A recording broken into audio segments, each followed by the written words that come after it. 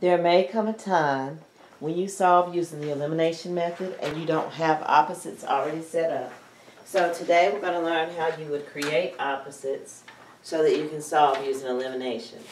Um, so let me give you a problem. We want to solve this system of equations using elimination.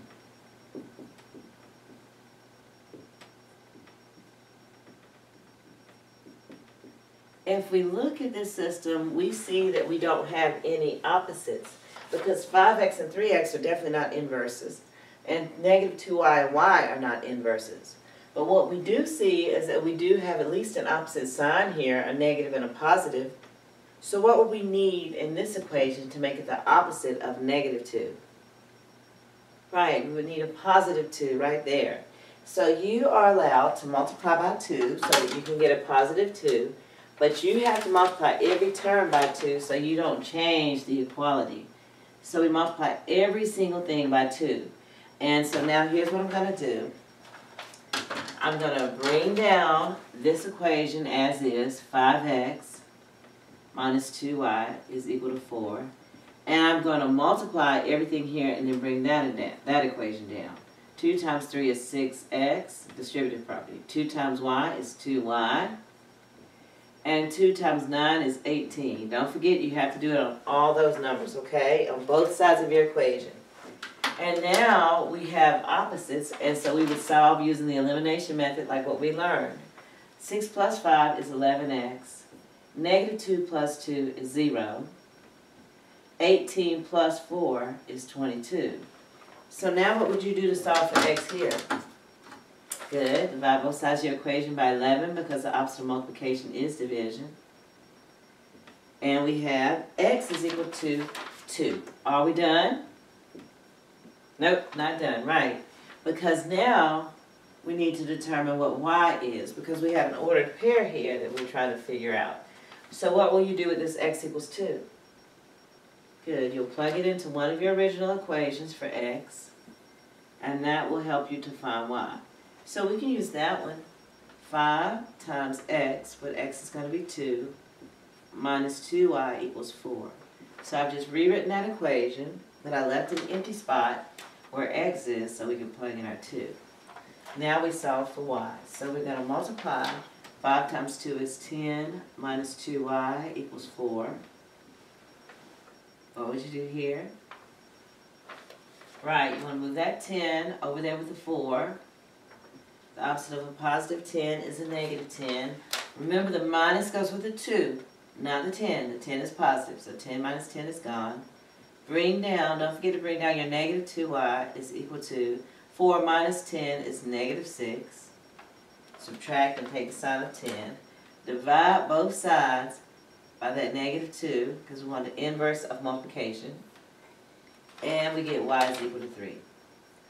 So we're saying that the y-coordinate of this ordered pair is 3. I always like to check myself, so I'm going to go back here. 5 times 2 is 10. 2 times 3 is 6. 10 minus 6 is 4. Checks out so far. 3 times 2 is 6. And then y is 3. 6 plus 3 is 9. So that's correct.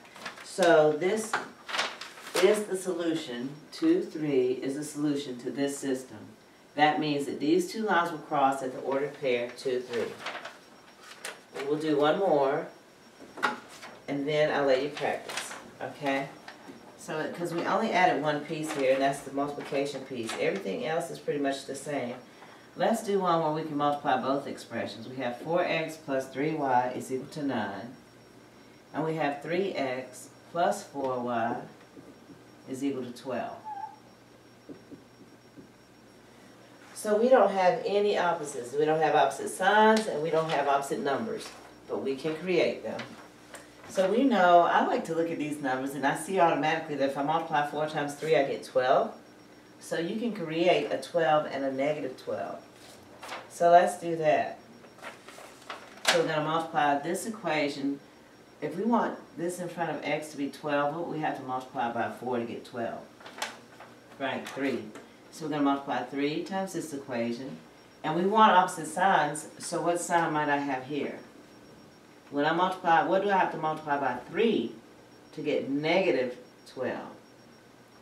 Right, it has to be a negative four, so three times four is twelve, and negative four times three is negative twelve. So I will have opposites. So let's do the multiplication. I'm gonna move the number two over a little bit. So three times four is twelve x, so you can see which one it is. Three times three is nine y, so twelve x plus nine y. Make my x look better. And then three times nine is twenty-seven, so it's equal to twenty-seven. So don't forget that part. Don't forget to multiply the three by the nine also. Now let's do it with the second equation. Negative four times three is negative twelve x. Negative four times positive four is minus sixteen y. And negative four times twelve is a negative forty-eight. So now we're gonna work this out, we're gonna put our line under here, that, that cancels out, which is wonderful, because that's what we wanted. Now we're gonna net nine plus negative sixteen, negative seven y is equal to, and then we're gonna do forty-eight minus twenty-seven, because we have opposite signs. And we get negative twenty-one. Okay, imagine in your mind that the larger number's on top, eight minus seven is one, and four minus two is two. You have to take the sign of the forty-eight because forty-eight is technically higher than twenty-seven, even though it's a negative forty-eight. Um, so now, what would you do to solve for y? So, okay, so when you think about the number that's the highest, think about absolute value. So that's how come I knew that my answer had to be negative, okay? Divide both sides by your negative seven. And what's y equal to? Right, y is equal to three, so we say, so let's check ourselves, are we done? Nope, we're not done, so we gotta put three for y, and how do we find x? Yes, you go back and you plug this three in for y into one of your original equations, okay? It has to be original, so just because it looks a little messy, I'm gonna bring this over, four x plus three y equals nine. That was the original equation, and we're gonna plug in three is gonna be in place of y, okay? So we have four x plus three times three is nine equals nine. And now what would you do to solve for x? For x, okay, we're gonna solve for x, we're gonna subtract nine from both sides of our equation, good. And so we have four x equals zero. What do we need to do now? Opposite multiplication, right, we need to divide by four. And we get x is equal to zero.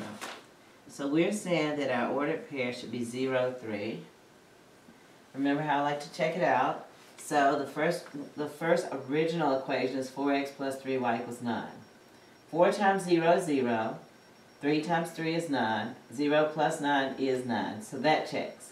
Now we use the second equation, three x. Well, x is zero. Three times zero is zero, and four times three is twelve. Zero plus twelve is twelve, so it's correct. So these two lines will cross at the ordered pair, zero, three. Think of it as addition, subtraction, multiplication, and division, and that'll make it easy for you. Because really, if you have those skills, your addition, subtraction, multiplication, and division, you can do this.